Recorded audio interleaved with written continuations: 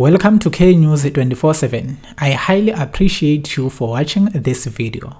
Don't forget to like and subscribe to the channel.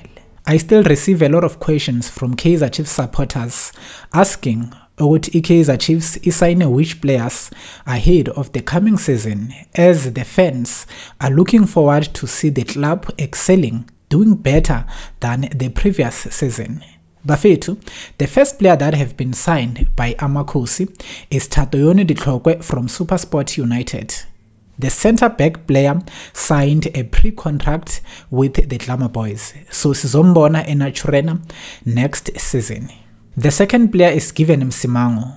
Msimango is a captain from TS Galaxy. He's a centre back and he also signed with the Glamour Boys. It's a done deal.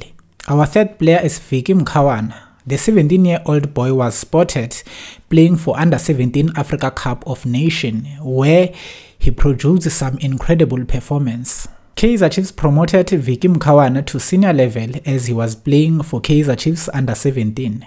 Our fourth player is Mduduzi Mdantsane from Cape Town City. This player is a left wing and it's a done deal. Definitely he signed with the Glamour Boys. Our fifth player is Edson Castillo. The 29-year-old was playing for Monagas SC.